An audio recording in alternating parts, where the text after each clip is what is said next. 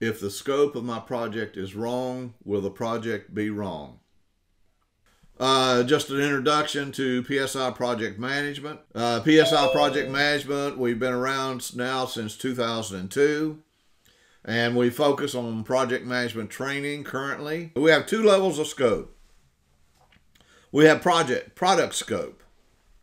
The product scope is the requirements, the features, and attributes of the product, the service, or the result that is needed for acceptance.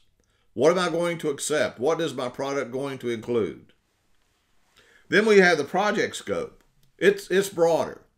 The project scope is the product scope plus uh, any additional requirements that are needed to successfully complete the project. So it takes on a broader uh, uh, sense than the product scope itself. Now, scope means different things to different methodologies, different methods of managing projects. For example, in a predictive project, we have identified the scope up front and uh, we are uh, then going to execute that scope to the project. We might do this by using what we call progressive elaboration, meaning as we learn more about the project, then we will actually uh, update the plan and we will update the uh, documents to reflect that new knowledge. So predictive project management, all the requirements are identified up front. Now, I'm not going to say all, but the biggest part of the requirements will be identified up front. Such as if you are building a building, you're going to have drawings, you're going to have a, a detailed plan on how to build that building. Iterative, we develop it over time. Progressive elaboration, we learn more over time. Iterative is we're actually iterating the development of whatever our deliverable is until we get to the final output, which would be the deliverable itself. Incremental kind of falls into the same category. And agile is where we really don't know the full scope of the project we have a story, we have a vision, but we don't know the actual scope. It's not documented, it's not planned, and uh, you know it, it's kind of uh, we develop it as we go along type of a process. And generally, agile is going to be using both iterative and incremental approaches with it. So let's talk about that a little bit further. In a traditional project uh, uh, we look at it and we have what's called the iron triangle or the triple constraint. Now, this is traditional. This is a predictive type project. So, first of all, we have a scope that is fixed. We have a fixed scope right at the bottom of that. You can see that. The scope is fixed. Well, uh, when that scope is fixed, if we make a change to it, uh, then uh, we're actually going to probably change the schedule and we're probably going to change the cost. So the iron triangle or triple constraint says if I make a change to one leg of this triangle, I will change at least one of the others, if not both of the other legs. Now compare that to Agile right here. Now, in Agile, the scope is developed iteratively. We don't have a plan. We don't have a scope baseline. We don't have a scope statement. Okay? Everything in Agile is based on the story, the vision of the deliverable, and the stories that uh, demonstrate to us what the stakeholders want to include in that project. So the schedule might be fixed. I may have a uh, do an iteration that's time boxed, and that iteration says I have one to four weeks generally, sometimes eight weeks, depends on what you're doing and depends on the method you're using. But it has a date tied to it. I will release that iteration on the date that's specified, so it's a fixed date. To do that, I may have to decrease the amount of scope that I'm going to deliver. So schedule is fixed. The cost is also fixed. I maybe have an authorized uh, authorized budget that I can spend $10,000 a month on this project. When I reach that $10,000 limit, then I'm done with this project for the month. The next month I'll pick up on it and do some more work on it. That's a good comparison then between the traditional approach and the agile approach with regards to scope. So let's talk about agile first of all. In agile, I have what's called the product vision. And the product vision or the vision statement provides the business need. I also have what we call a user story. That describes what the user, the customer, wants us to deliver. There might be many user stories affiliated with a, uh, a project, an iteration even. An iteration is a period of time that we're going to be working on what we call the backlog. The backlog is the prioritized list of tasks that are to be completed. So in a uh, uh, iteration, we will deliver a backlog which has all those tasks assigned to it. So in those tasks, what we do, we prioritize them. It's a prioritized list of, of, of tasks to be completed. The priority is based on what will deliver value to the customer the soonest. Then we have a release plan. A release plan is going to tell us when we will be releasing the various iterations, i.e., the various levels of uh, scope that we're developing. And then we have what's called the burn down chart that reports the work that remains to be done. A burn up chart reports the work that has been completed. And then at the end of each iteration, we're going to do what's called retrospective. In a traditional project, we call it lessons learned. But in an agile project, we call it a retrospective.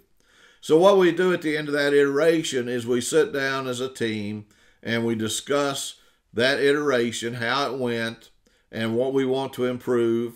And we may come up with two or three things that we want to improve, and we would include those items into the next iteration so that we can have continuous improvement in our product and in the processes that we're using.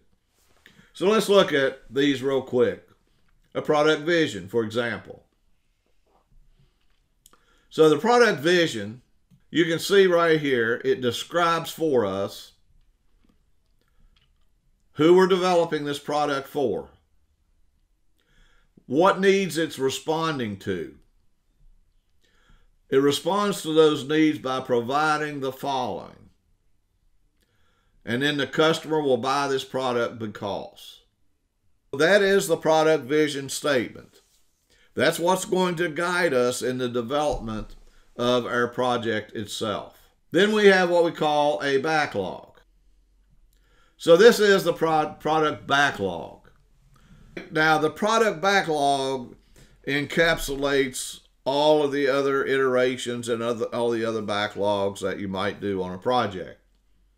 So you can see here I have listed the various descriptions of what I'm going to be delivering. I have prioritized them on a priority of 1 to 8. And then I have a story that relates what that is satisfying, what story that is satisfying.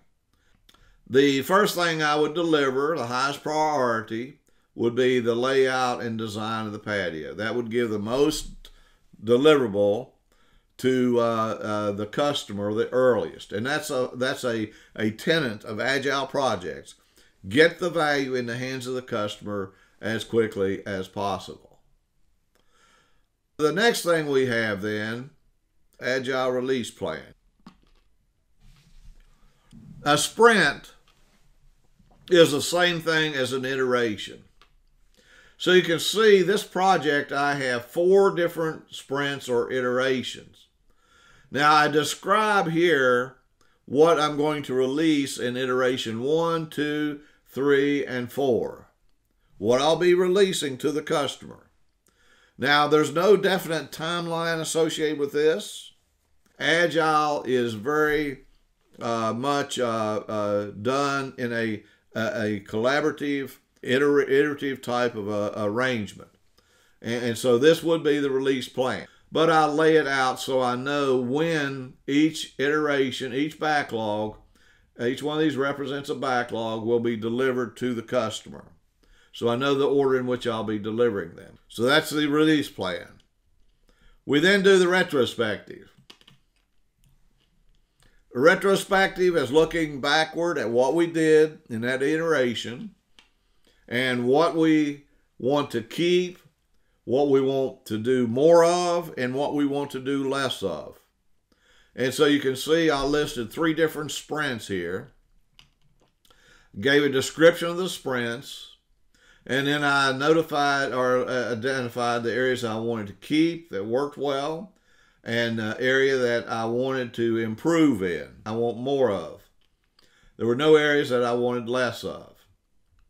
So that would be your retrospective. Then you have the agile form that I made up. So the product vision, for example, we talked about that. So here is the product vision here. And, and you remember that followed this same line. We are developing this product for, to respond to the following need, and how it responds to those needs.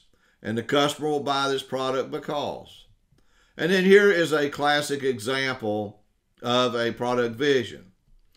We are developing this product for our bank customers so they will be able to view their online account status during the online using the online banking application, which will provide them anytime access to their account and allow them to access features, banking features online. This application will allow 24 hour banking service as compared to 8 o'clock a.m. to 8 o'clock p.m. service allowed by most comparable banks. That is the product vision. You notice that there's no technical specifications in this. It's a story. It's what I want as a customer. We go on to the epic story, and uh, this is the vision, whereas the epic story uh, gives you uh, really is starting to develop for you what you're going to be working on. It's breaking it down to a lower level. So it represents a series of user stories that share a broader strategic objectives. So an epic will typically require development work covering several different sprints or iterations. It won't be one, but it will be several. So now here's an example. As a bank customer, I want to view my statement balance online anytime I want to see my account balance, transfer money, and pay bills. So I want to visually see it. That's what I'm saying here. I want to be able to see it on, online, and I also want to see my account balance. I want to transfer money, and I want to pay bills. So this is giving me work items that I will have to complete to complete this epic story. But again, you do not see any technical data present. Then we have the user story. And these are simple sentence structures, such as as a persona, who we are building who we are building this for, and what I want, and the reason I want it, or what it solves.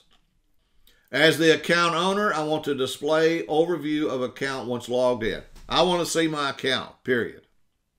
As the account owner, I want to see the total funds available, all accounts basically, so I can understand my financial position.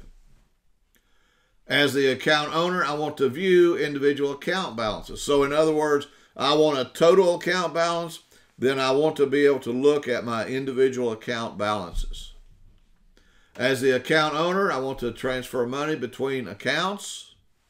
And as the account owner, I want to be able to automatically transfer periodically. So not have to do it manually, but it happen periodically. And as the account owner, I want to pay bills directly from the account. So now I have described all these stories. Now, if you were a software developer, you would come and you would take this first story in the backlog. Let's look at the backlog Those stories translate into the backlog right here. So, as a software developer, first thing I'm going to do on this project is I'm going to pick up item number one, priority number one, and I'm going to start working on it. I'm start developing the software around this uh, backlog. Somebody else in the team would pick up on number two. Somebody else in the team could pick up on number three and so forth. Or I may have a couple people working on the same backlog item. It just depends on what you're doing. But the important part of this is I have identified everything I want to be included in this project, and now I will start executing that as a team member based on the priority within the backlog. So that's the key item here. So this is the agile approach to scope. And as you can see, I can add more scope requirements in anytime I want to. In Agile, I embrace changes. Change is the norm. The customer is there working with me. The customer is helping me. The customer is deeply involved with this. They actually might be a part of the team itself. So that's the Agile approach. Now we look at one other slide here, and this kind of summarizes Agile. This is called a Scrum flowchart. So first of all, we have our product vision. Then we have our product backlog and it's prioritized. We do our vision meeting. Then we have a release schedule. That would be our release plan. Now we have coming out of that release plan different sprints, different iterations. Okay? And a sprint in Scrum is one to six weeks long. Uh, you can say generally it's going to be one to eight weeks long, typically. That's typical range of a sprint or an iteration. Scrum is a little bit different. So I will start executing these actual iterations or sprints. Now, once I have delivered a sprint, I've done it, completed it, the customer will accept those deliverables. We'll have that sprint review meeting. And then once we have the customer has accepted those deliverables, we will sit down and do our retrospective and come up with improvements. Those improvements would flow right back into another backlog and we would continue on. And that's a, a cycle that would be continued. So sounds a lot like progressive elaboration and, and really progressive elaboration, which we call it in a traditional environment, is really an agile type of an approach to a predictive project. So now in a traditional or predictive project, we have our 10 by 5 by 49, our project management structure. Now we're going to focus today on project scope management. And we have several processes we'll talk about. Plan scope management, collect requirements, define scope, create WBS, uh, validate scope, and then control scope. So that is our focus today, those processes. Now, in a traditional type of a project, this is a good uh, explanation of how we do those projects. So, first of all, we have a sponsor. That's the person paying for the project. We have business documents such as a business case that will establish the need for the project. Then we'll do our initiating processes. Then we will start planning. Once we have enough planning done that we can start executing, we will start executing the project.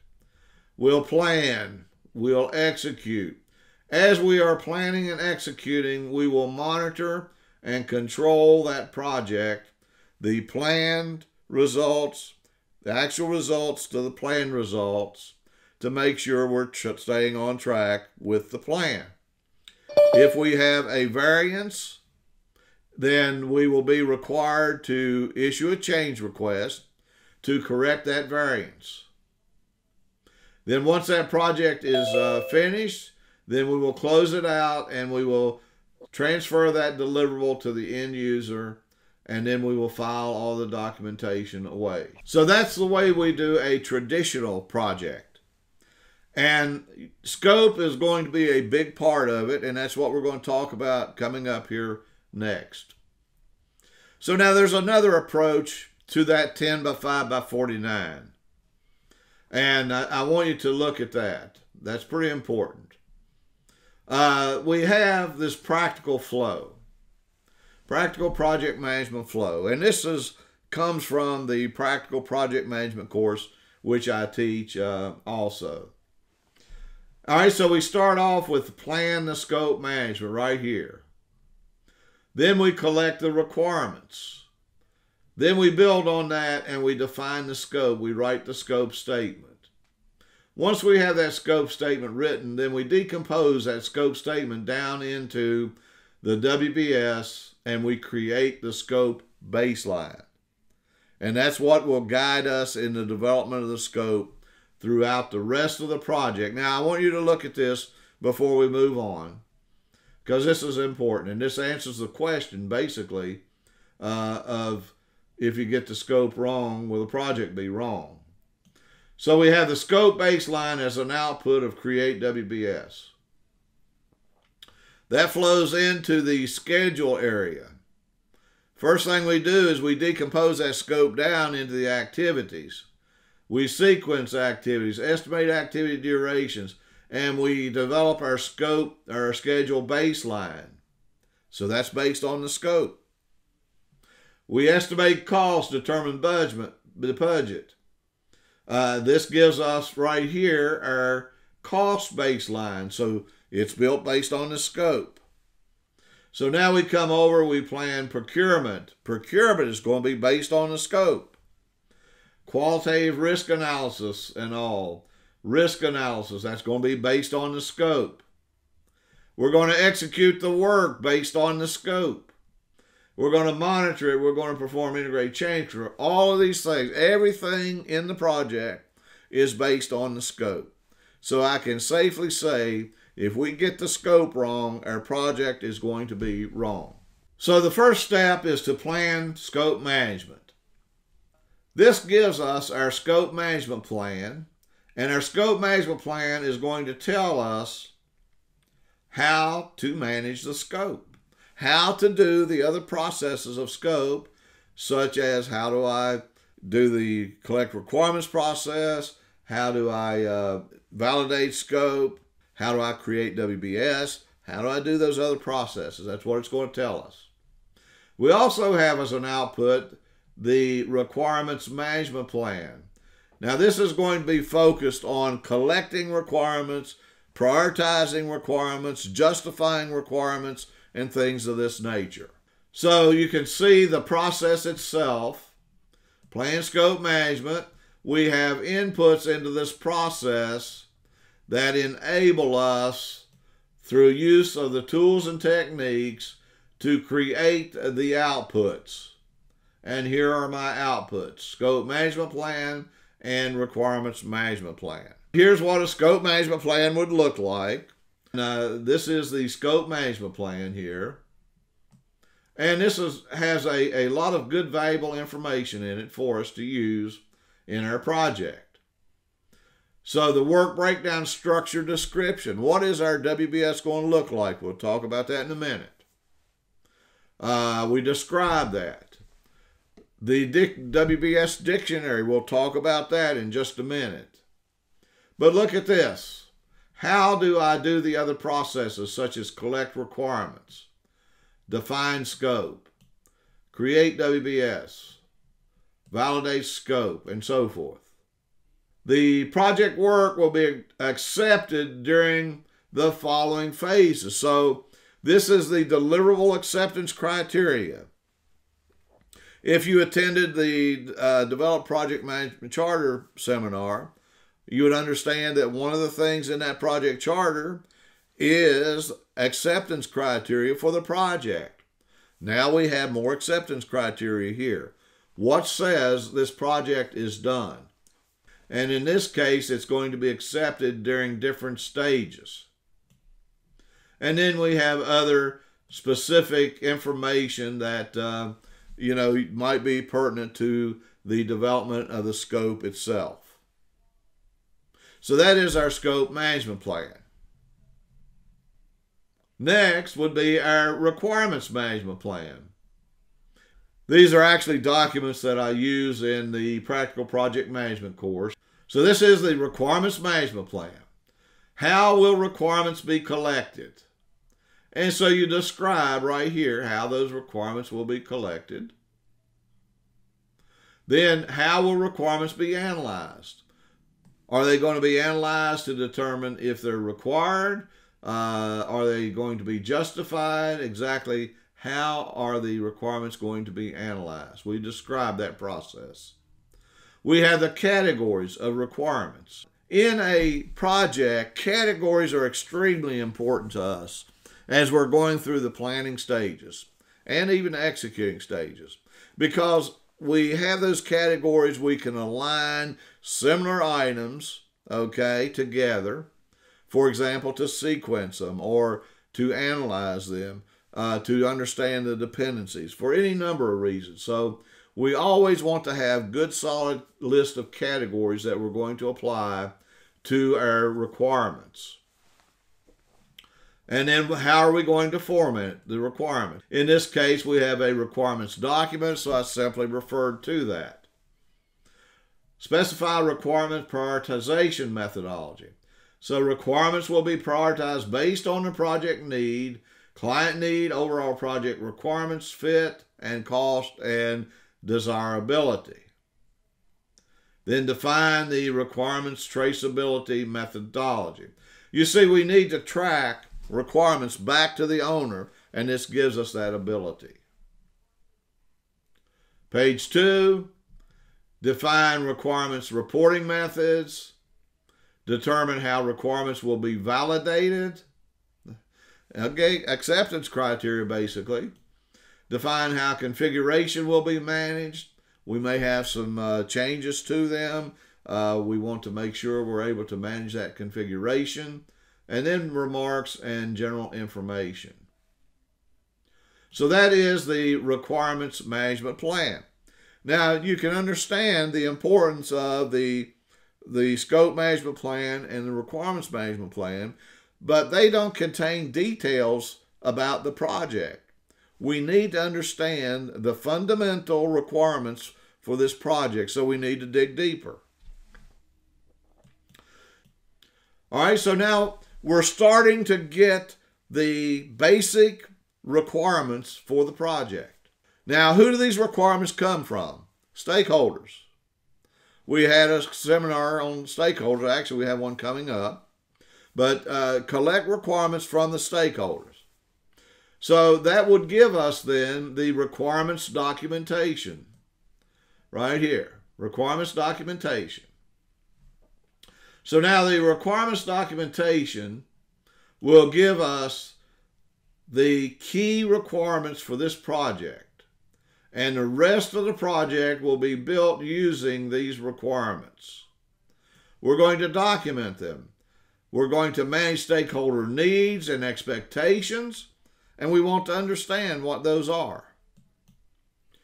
So once again, you see we have some inputs, key inputs, that give us the information needed to work on it, to come up with the tools and techniques, and then ultimately create the outputs, which are the requirements documentation and the requirements traceability matrix. So, what do they look like? So, we have two documents here that PMI recommends, but Roy says tie the two documents together into one uh, and then save yourself some steps and some paperwork. So that's the requirements documentation, the format. So let's look at it.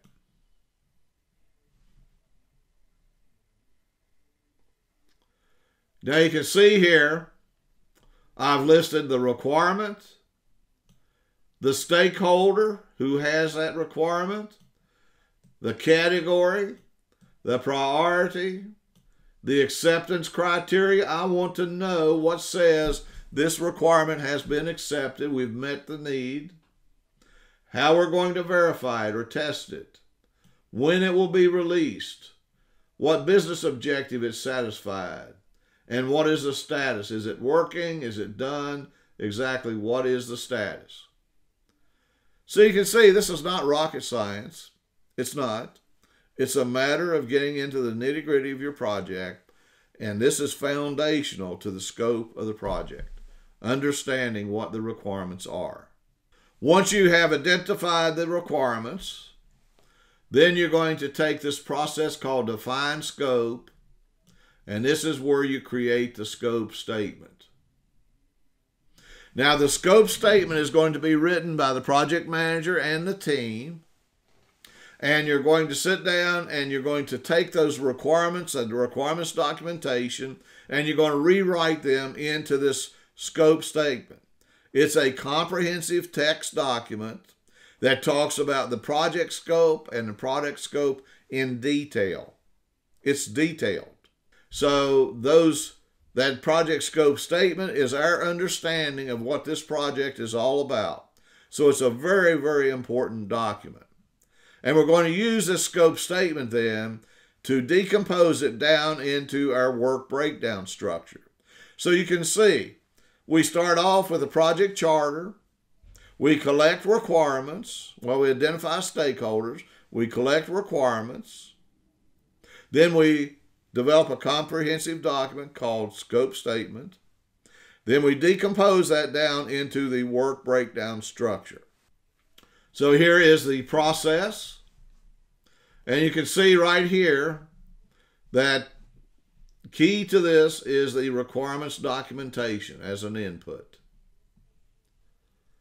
And we're going to establish a lot of different things based on the analysis that we do with the tools and techniques.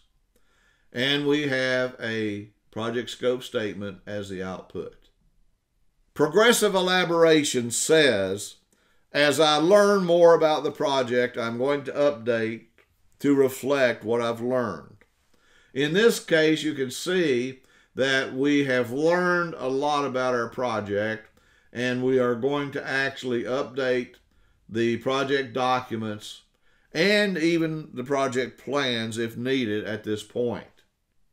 So updates is an output of a number of processes, updates to reflect that new knowledge. So here is our project scope statement.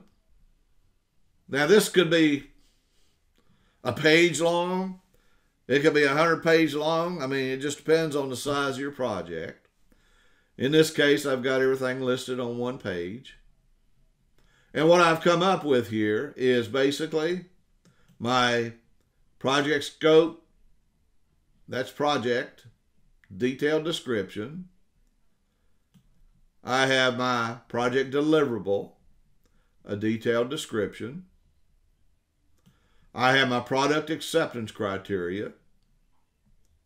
I have my project exclusions. On some projects, this could be critical. It could be critical. Now, why do I say that?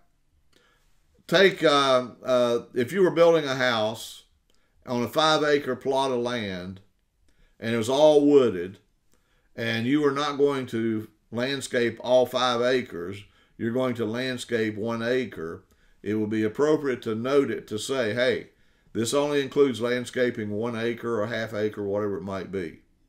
And that way there's no question about what your deliverable would be. Then you have constraints. I have to have this project done by uh, June the 1st, 2022. Uh, I cannot spend more than $100,000 on this project. Those would be constraints. Generally, those constraints would come directly from the project charter. Project charter should list those constraints as requirements for the project completion. We have project assumptions. Assumptions are things that we believe to be true. And then project risk.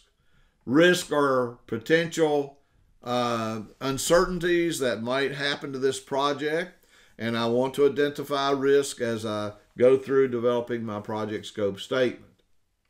So this can get very lengthy, very lengthy and uh, it just depends on the size of the project itself. but it should be very comprehensive. Because what you're going to do with this is you're then going to break it down into the scope baseline. The scope baseline is an output of create WBS process. We take that WBS, uh, the scope statement, we decompose it, and that gives us the WBS and WBS dictionary. Now, the scope baseline itself is made up of the WBS, the scope statement, and the WBS dictionary. So here we have our inputs, create WBS. Notice that I have the project scope statement as a input. I also have the requirements documentation as an input. It would be a reference document for me to use. And I will decompose that scope statement down into the scope baseline. And that scope baseline includes the WBS, WBS dictionary, and the scope state. Now, a WBS is a graphical hierarchical chart for the most part.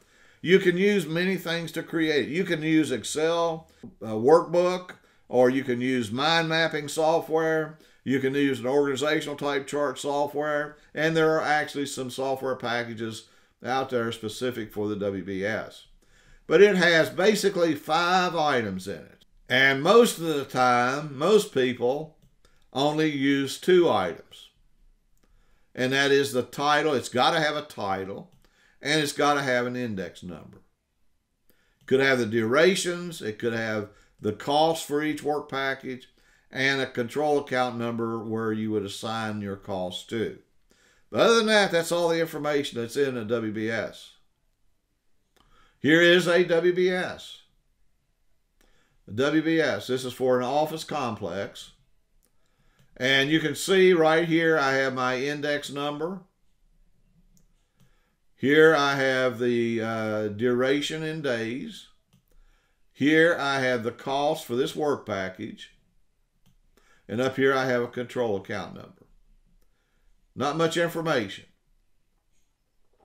Now, when I'm estimating, doing bottom up estimating, for example, uh, I start estimating at this level each work package, and I aggregate that up into the branch, and then I'll aggregate all the branches up into the project to come up with my total duration of my project and my total cost for the project. That's called bottom up estimating. Now, the WBS dictionary. This contains the details necessary to execute the work package. This is key. As a project manager, you will execute the work packages.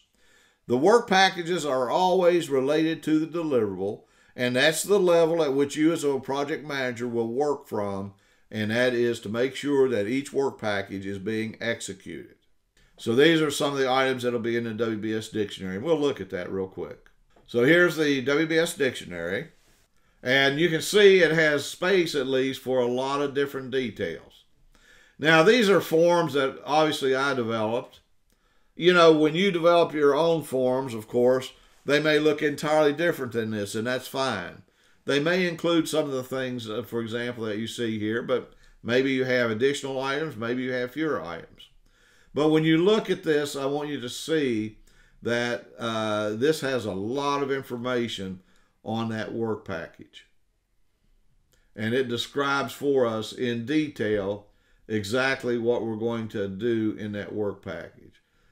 For example, the name of it, assumptions and constraints, description of the work to be done, detailed description, milestones, if I have milestones associated with this work package, activities associated with this work package, and then uh, resources that are needed right here to do the, the work packages and the activities. And then quality requirements is a factor. Acceptance criteria is a factor. Technical information if needed. And then if you're going to outsource parts of it, uh, the agreement information would also be a part of it. So you can see there's a lot of detail here. And as a project manager, uh, as a team member, you're going to execute work packages. Work packages are described as being small enough that it can be managed. It's small enough it can be estimated for cost and time, and it's small enough that it can be completed by a person or a group of people. That's the definition of a work package. So our scope baseline is unique to each project. It is composed of the scope statement, the WBS, and the WBS dictionary. To change this baseline in a traditional project requires a change request, an approved change request. Once that scope uh, baseline is output, it is a controlled document, a controlled plan, and to make a change to it, you have to have approved change request. If you have an approved change request, then you can update the baseline and proceed on with the project. Now, here's what happens if you gold plate or you add more to the scope than was required. When you get to the end of the project, you did not complete the project uh, successfully. You added more to the project than what was required. You changed the scope to the project. But now, if you issue a change, an approved change request, and you modify the baseline to reflect that change, you get to the end of the project. When you look back, you finish the project on scope, within scope. So those approved change requests are the only thing that can change the scope baseline. So let's look at the original question. If the scope of my project is wrong, will the project be wrong? The answer is yes, most definitely. If you do not do enough scope development or you get it wrong, then the project will be wrong. Everything in the project is based on the scope. So when you're doing the scope of the project, you got to get it right.